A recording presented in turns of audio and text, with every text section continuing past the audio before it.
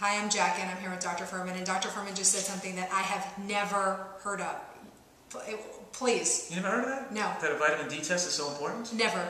Well, look, I mean, you know, every person needs a different amount of supplements. Some people may need um, a thousand milligrams a day of sub- vitamin D supplement. You can Oh, no, no, I heard vitamin D was important. No, you Sorry, said it was more vitamin D important than a test was cholesterol more test. Yeah, but, but that's right. I'm saying that some people may need a lower dose, and that may be enough for them, and other people, even taking a high dose, may not be enough for them. Our ability to absorb and utilize vitamin D is so varied from person to person. So I'm saying that if vitamin D is so powerful, probably the most important nutritional discovery in the last 50 years in nutritional science is the fact that vitamin D has such powerful effect to protect against cancer, including breast cancer, that women who were given vitamin D supplements four years later had a, um, a 30% lower risk of breast cancer. We're talking about four years later when the, when the natural trajectory of developing a cancer cell to actually becoming large enough to be viewed by the human eye, to be detectable on a mammogram, is a 15-year um, expense. We're talking about reversing breast cancer in three or four years. So we're saying that um, vitamin D has a very powerful effect to prevent cancers from coming out into the body and becoming cancer and actually promote reversal of cancer. What is that test called? The, and, and of course, the blood test, so, so the amount of vitamin D you take has to be individualized to, so you have this maximum benefits. And the test is called the vitamin D 25 hydroxy. And I can take, I can go up to my physician and say, this is the test that I want. Of course. Yeah. And what if he says no? What if he says, yeah, because I, I've, I've asked for tests that, that they've said you don't need that.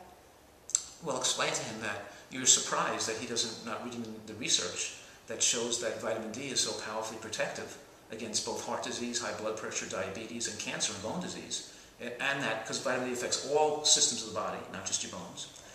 And that um, making sure the amount of vitamin D you're supplementing with and making sure your levels are in the, in the ideal range is, is one of the most important health things you could do. And it's much more important than monitoring your cholesterol level, your glucose level, or anything else a blood test could test for. This is the most important thing a person should know. They, everybody should know their, their vitamin D level. Do most physicians know that range that you were just No, speaking about? they don't read nutritional research. So- they don't read research. So that range you just mentioned a little bit before was 25, I don't know. what 35 to 55 on the blood test. Okay, and now, so, 80% of Americans are to fit below 35. We're saying here that Wow. if, if all of America would fix their vitamin D levels, and of course everybody you see and every patient I see doesn't check their vitamin D levels, and they're all deficient.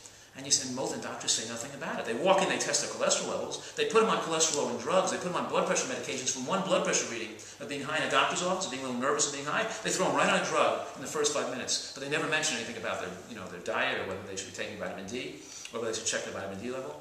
And it's probably the most powerful intervention you could do to revolutionize the health of Americans We- Now- without, without any major, um, major effort here. Now, I've read on a popular health site, uh, I think it was Mercola, he says that with 30 minutes of sun exposure a week, you get your you know you get adequate vitamin D. Is that congruent with the research? No, that's, it's not that. See, there's some research that might suggest that a certain amount of time might be beneficial, but what it really shows is that the amount of sun exposure is so incredibly variable from one person to another that you can't guarantee that 30 minutes from one person would be all that they need. There was even a study done on Hawaiian surfers mm-hmm. where they were, out in the, they were outside three to four hours a day, and, and about half of them didn't even have adequate vitamin D levels. It was all based on, and these were Caucasians, by the way. You know, Right. the darker your skin, the less likely you need more sunshine to get the same amount of vitamin D. We're concerned here because with the loss of the ozone layer, that it's possible that the, we, we're increasing the risk of skin wrinkling and skin cancers. So in order to get vitamin D adequacy by the sun, you're also increasing risk of skin cancer and, and wrinkling. So certainly you should protect your face and your vulnerable areas and, and use sun carefully. And don't assume that, and most of us work indoors anyway most of the time. Right. But we can't assume that the sunshine we're getting um, is, you know, is going to be adequate for us. You still need a blood test to check that. Now, are there any foods that are naturally rich in D, or is it one? This is, this is the There are some foods that have some vitamin D in them, like um, like the livers of certain fishes and mush, some some mushrooms. But most of us, it's very hard to achieve vitamin D adequacy through food. It's most vitamin D is considered the sunshine vitamin, called the sunshine vitamin. Mm-hmm. So in our primitive state, it would more be that we would be out in the sun more, and of course we'd be living outdoors without clothes, so much clothing on. And we have indoor jobs now. We sit on our rear ends the whole day, so we have to exercise now because we don't have act. We don't. Well, our life our work is no longer physical activity, so we have to add exercise to our diet and sports and things to keep physically active. and what's the dosage each day? For vitamin Uh, D. for vitamin D? Yeah. Well, most people need about 1,500 to 2,500 a day. Wow. So, I'm, um, so in my supplements, for example, we give people about 2,000 IUs of vitamin D, and then if they're low, they can add a little bit, and if they're high, they can decrease a little bit. But most people, we want them to take about 2,000 IUs of vitamin D per day.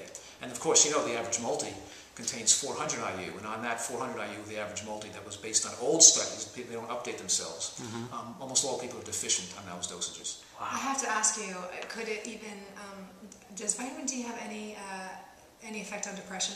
Because I hear so Yes. many people are depressed. I, I'm just throwing it out there. I don't, I've never heard. Well, that's right. We have a protocol for people who are depressed, and it's includes vitamin D and fish oil and a high nutrient diet and morning sunshine. We're using the therapeutic lights, and we're saying that the combination of nutritional intervention, the therapeutic light, exercise, and vitamin D, and the omega-3 fatty acids works more effective than drugs do to get people out of depression.